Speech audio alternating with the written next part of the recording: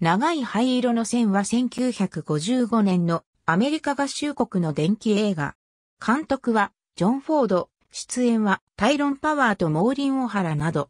ニューヨーク州ウェストポイントにある陸軍士官学校の教官だったマーティン・マーの自伝を映画化した作品である。陸軍士官学校ウェストポイントの体育助教として50年間勤めてきたマーティマー軍曹は辞職命令に不服で撤回を求めて旧友の大統領と会い思い出話が始まる。1903年、アイルランドからの移民マーティはウェストポイントの給仕をして2ヶ月で給料3ヶ月分の皿を割って首。兵に志願して勤務隊に配属。体育主任、ハーマン・キーラー隊員に右腕の力を見出されて手伝う。キーラー家の女中としてやってきた同郷の娘、メアリー・オドンネルと結婚。マーティは故郷へ帰るつもりだったが、メアリーが嫌がり、彼の父と弟をアイルランドから内緒で呼び寄せた。セワスキデレッド・サンドストロームという候補生が、運動抜群でも、成績不良に悩んでいたのを学校教師のキティ・カーターを紹介する。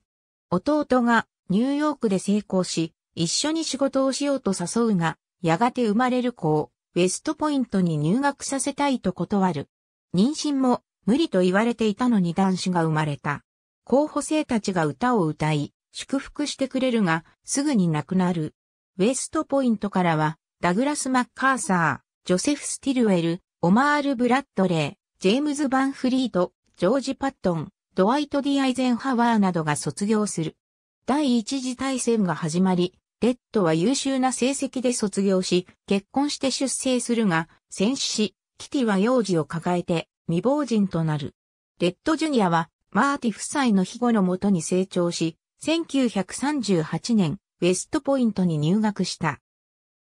卒業間際に女性の親に反対され離婚。自主退学して、折からの第二次大戦に一兵卒として参加。メアリーは穏やかに生涯を終えた。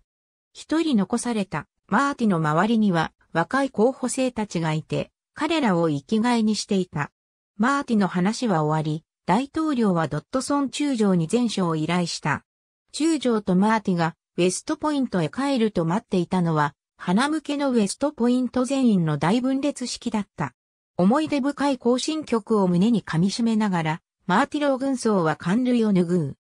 括弧内は日本語吹き替え日本語版、陸軍士官学校とノートルダム大学の試合の様子アメリカンフットボールで陸軍士官学校がノートルダム大学の新戦術によって大敗するエピソードは1913年に陸軍士官学校とノートルダム大学の試合においてノートルダム大のガス・ドライスとヌート・ロックニーがパスプレーとランプレーを効果的に織り交ぜる新戦術により35から13で圧勝したという史実をもとにしている。それまでは大学アメフトにおいて陸軍士官学校が最強チームであったが、新戦術により無名のノートルダム大学が大勝すると、パスとランを織り交ぜる戦術が広まり、現代的なアメフトが完成した。ロッテントマトズによれば、9件の評論のすべてが高評価で、平均点は10点満点中7.08点となっている。ありがとうございます。